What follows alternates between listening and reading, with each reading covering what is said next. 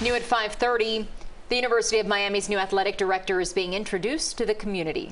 The Hurricanes hired Clemson's athletic director Dan Radakovich to fill the role. CBS 4's Harry Cicma joins us now with more on today's introduction. A very important job at the U, right, Harry? Big time job. All eyes on the University of Miami as they officially introduced their new regime this afternoon. Dan Radakovich greeted the media today for the first time as the Hurricanes athletic director. Radakovich recently spent nine years as the AD at Clemson.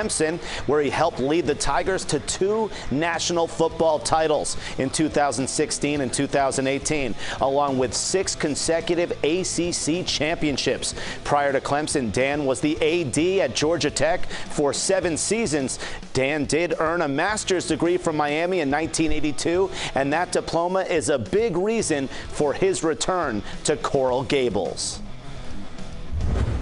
when I'm sitting in my office and I see that diploma up there and I'm not part of the organization, uh, that was that was something that was really important to me. I always followed wherever the Hurricanes go, and I have a cadre of about you know 15 or 20 friends that I went to school with that would always text and talk after great Hurricane victories or difficult losses. So the opportunity to come back here and be a part of that and to influence it in some ways uh, was just uh, was just a great draw, and just very very fortunate to have the opportunity.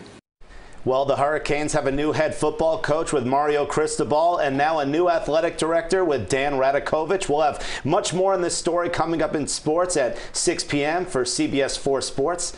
I'm Harry Cicma. I'm sure he'll be trying to raise some money there for the U. Those big salaries are paying. I think they'll be okay. I think they're on the rise. All right, good to hear. Work cut out from Harry. Thanks so much. Thanks, Harry.